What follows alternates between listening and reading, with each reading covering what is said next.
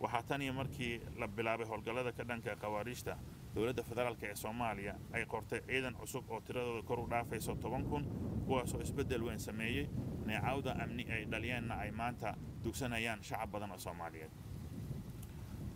Dowladda federaalk ee soomaaliya waxay kaloo mahad ballaaran u jeedinaysaa shacabka soomaaliyeed oo tan iyo markii howlgalladani ay bilowdeen sannadkii hore kaalin hormuud leh ka qaatay dagaalkan. Welina taageero hiil iyo hooba la garab taageen geesiyaasha ciidanka xoogga dalka soomaaliyeed.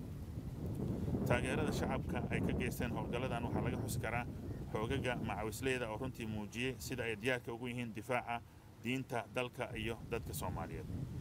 Dagaalka khawaariijta lagula jiro sidoo kale waxaa taageero uu ka haystaa culummada diinta islaamka ee soomaaliyeed oo hore u sheegay in ay sax tahay in khawaariijta laga suuliyo dalka si dadka loogu siiyo fursad ay diintooda si wanaagsan oo ka baxsan fikradaha xun ay ugu dhaqmaan waxaa kaloo naga taageeraya dagaalkan saaxiibada caalamiga ah iyo dalalka deriska ah. Si gaar ah haddii aan u xusno wejiga labaad ee howlgallada looga soo horjeedo khawaariijta waxaa iyaguna kaalin ka geysanaya dalalka deriska ama safka hore la yidhaahdo sida kenya jibuuti iyo ethoobiya wejiga labaad ee howlgalkan dowladda federaalka hogaaminayso ayaa dalalkan waxay ciidan u soo dirayaan gudaha dalka soomaaliya kuwaas oo caawin doona amaba ka hoos shaqayn doona ciidamada xoogga dalka soomaaliyeed